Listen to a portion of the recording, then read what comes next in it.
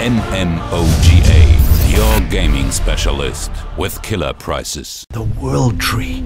It seems so close. It's so big that it seems to be close. But I still got a long way to go.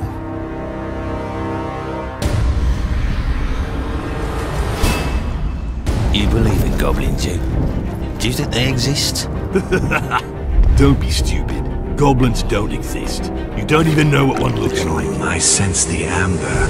In stories, the creatures you see from the corner of your eye, but that are no longer there when you turn around. Go on. Kill the beast!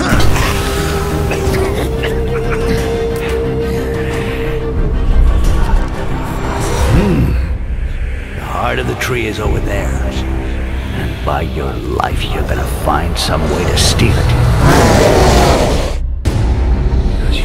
Leaving the tower without it.